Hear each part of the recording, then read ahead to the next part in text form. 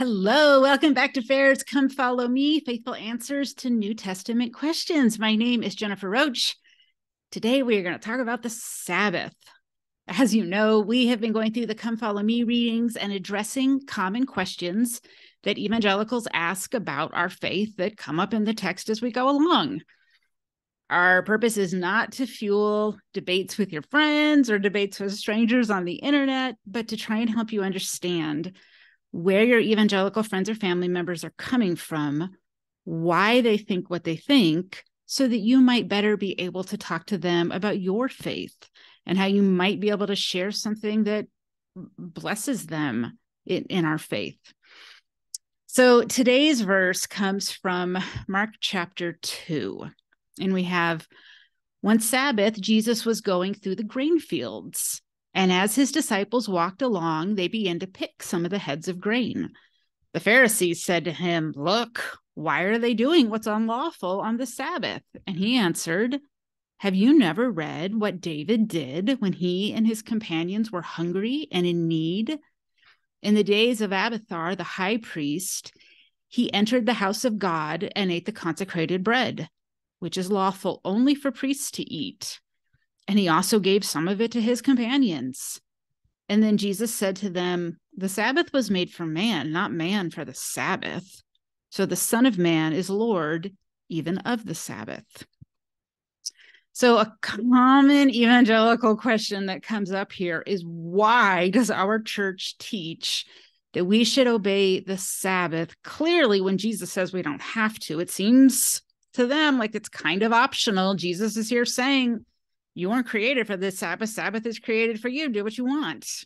That's how they hear it. It's not how we hear it. Um, so let's take a look at why they understand it that way and what they're really saying. Um, so, as we've talked about in some other videos, the history of the evangelical movement really goes back about 70 years at this point, and its growth happens right along with the baby boom right? So we're talking about really a 70 ish year old movement. Those initial churches that called themselves evangelicals, they were pretty much following the same pattern that Christian believers had followed forever. Sundays are for worship, uh, no working, no shopping, no like extravagant forms of entertainment, spend time with your family, um, and try to keep a reverent spirit throughout the day. That's where the evangelical movement started. But by the time the late 60s roll around, things start to change. And it's a church in Southern California called Calvary Chapel that really is at the forefront of this change. And Calvary Chapel has done a lot of good in the world. This is no um, um, disrespect for them. They were a hugely successful church at that time and really became sort of the hub of the, the Jesus movement people.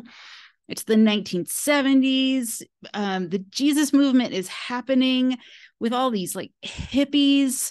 Churches don't really know what to do with them. And there's this tension between like, here's these newcomers that are interested in church, and people haven't been interested in church for, for quite a while by the time the 70s roll around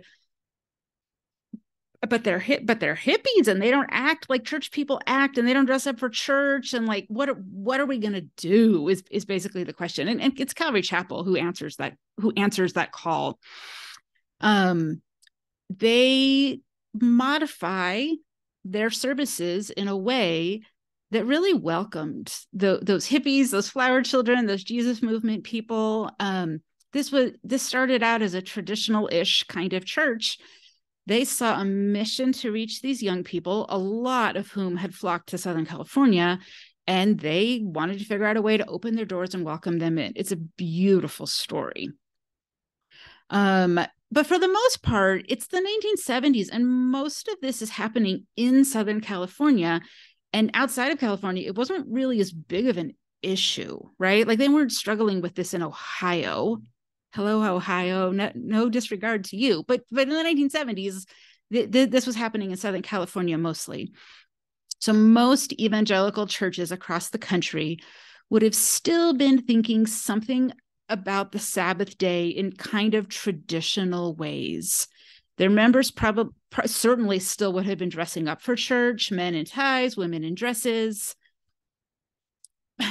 But by by the late 70s into the early 80s, what happens is um, Calvary Chapel has exploded in Southern California. They're wildly successful. They're starting satellite churches all all over, and some of the younger leaders say, you know, they really could actually use this in Ohio. What we're doing here, we want to take this model of doing church and, and take it to other parts of the country. And that's what they did. And were wildly successful at doing that. Um, so during the 1980s, the evangelical movement that all along since the 50s had, had kind of been more or less traditional they're hit with this wave of a new kind of church that sort of sweeps across the country where people are encouraged to um, kind of come as you are dress as you want um, they really de-emphasize any rules around sunday behavior come in your bare feet if you want to um, it, the, this is the history of how they they got there right so starts in southern california it sweeps ac- across the country but why? Why, why does this happen? So ultimately, evangelicals place a very high priority on the pragmatic. Does something work? They put far less priority on other kinds of understanding of information, um, long term consequences. D- does it work? Does it accomplish the goal that we're trying to accomplish? They are highly goal oriented. And so beginning in the, the 1980s and certainly into the 1990s, the kinds of evangelical churches that are embracing this casual style of worship are really growing. And and it's hard by by 1990 it's hard to find an evangelical church where people are still dressing up for church and believing that honoring the sabbath is something that you should even care about families are flocking to these churches um, they have fun programs that keep teenagers engaged. There's a lot of excitement. Um, but by the 90s, certainly the 2000s, a pragmatic practice that had happened for a really good reason.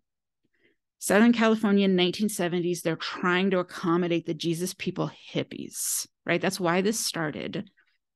Spread across the country.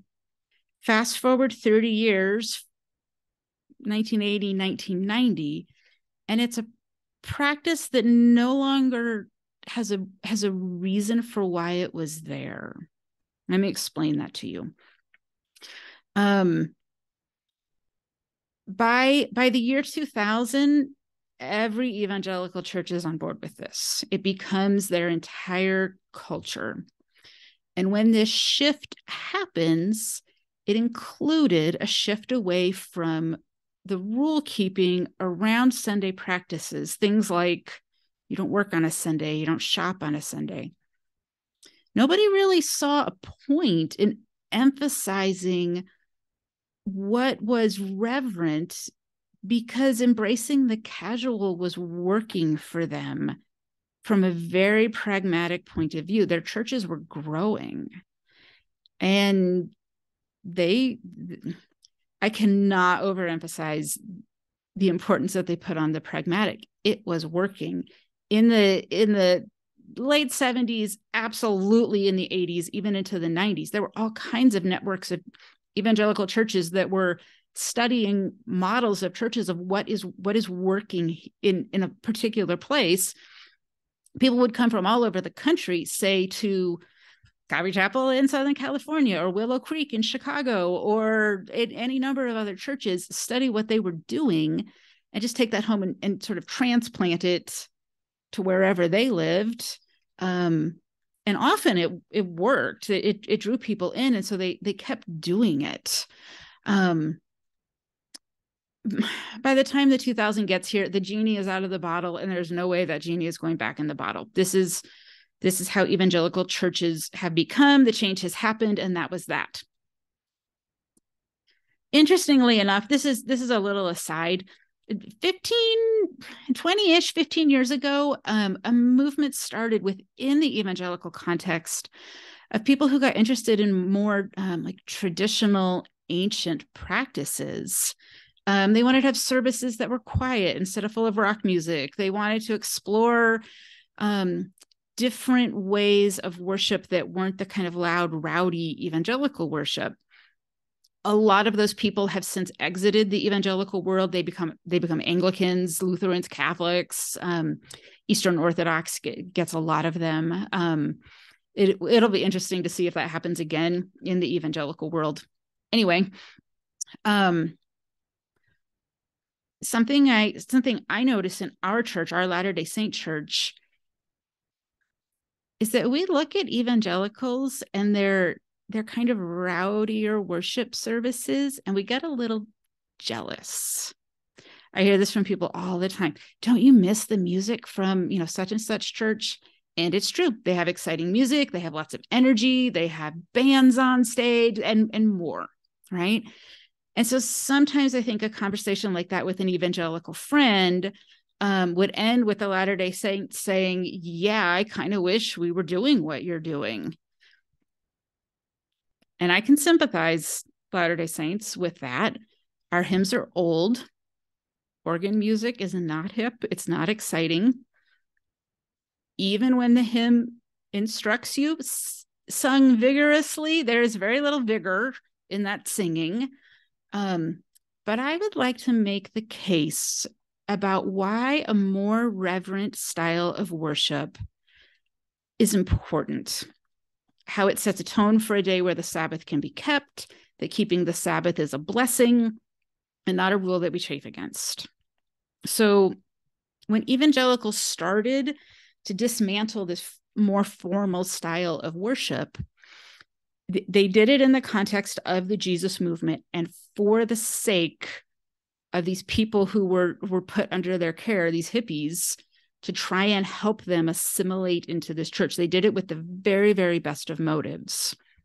But as it grew into a standard practice as these churches kind of sweep across the country the underlying motivation of we are doing this for other people so that other people can access the goodness of Jesus it it it kind of it kind of gets lost and it gets turned into something like a person who was born and bred evangelical saying we can follow Jesus without traditional constraints and in fact it's our obligation to do so. We need to show people that church is not following your grandmother's rules. It's for it we can have fun. It's for modern people. It works in in in the same world that you live in monday through saturday we we are going to design worship for us do you hear the change there it went from we want to change our our worship style for the sake of these jesus movement people into we want to change our worship. We want this worship style because it suits us, because we like it, because it's for us. Right? It, it's a subtle little shift, but it's important. Um, they wanted to make, they wanted to maintain that kind of worship so that they didn't feel old and boring and irrelevant. The goal moved from accommodating others sort of to just it being a vehicle of expressing one's own coolness. And if the point of worship is about me and what makes me feel comfortable, and that I'm able to express my coolness, my individuality, my perspective on the world, it becomes really hard to accept that anyone else, even God, should place any expectations on how that worship happens. So the idea that God gets a say in how worship goes gets tossed aside. But none of them really looked far enough into the future to say if we start to throw out God's expectations in this area, it might become pretty easy to do it in other areas. And a really deep cynicism starts to develop of God's right to have any say over our behaviors and practices. If his opinion doesn't matter on Sundays, it certainly is not going to matter on Friday nights. So instead, in our church, what we are trying to say is that God asks us to have an attitude of reverence when we worship Him, especially on the Sabbath day. And that attitude should be carried throughout the day. And it's true that the expression of reverence might look different in different cultures at different times. But there is no culture where failing to express reverence in at least some way is obedience to the commands of how God would like to be worshiped. God is the object of our worship. His day is Sunday. We modify our behavior to worship Him as He would like, not as we would like. And so, well, I see what the evangelicals are trying to do, and I, it, at least historically, and it's a good thing that project ultimately fails. It it became about what makes the members of the church feel good. And when they stop feeling good at that church they move to another one across town because they've got a better band. Oh i sound so cynical when i say that. I don't mean it all that cynical but the difference here is pretty stark and it's more than just style it's more than they're led by guitars and we're led by an organ so that that's talking a lot about what happens Sundays in our services. But what about after church?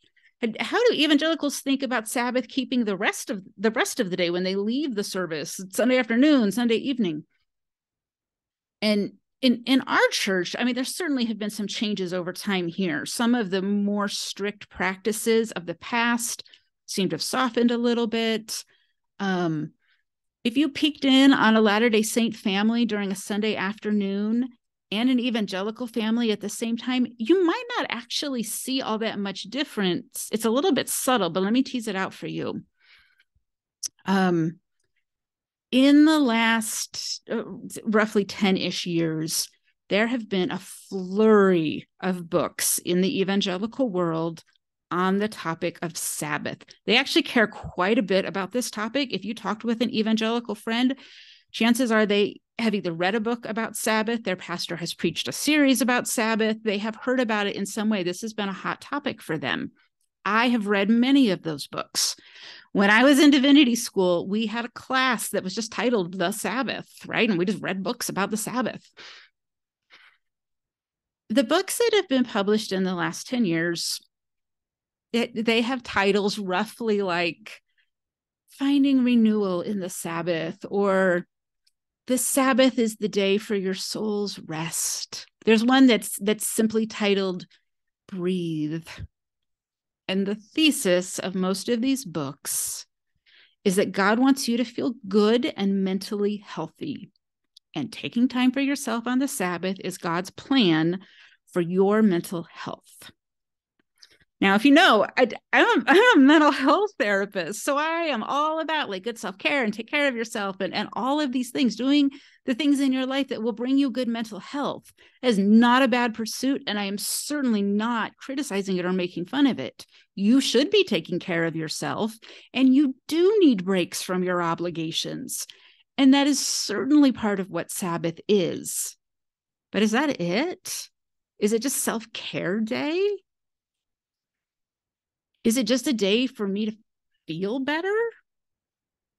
You can hear the same logic that they use in their Sunday worship service playing out here too. This is you time, right? We're going to create a service for the kind of people that we are, right? And you get home, this is this is time for you to rejuvenate.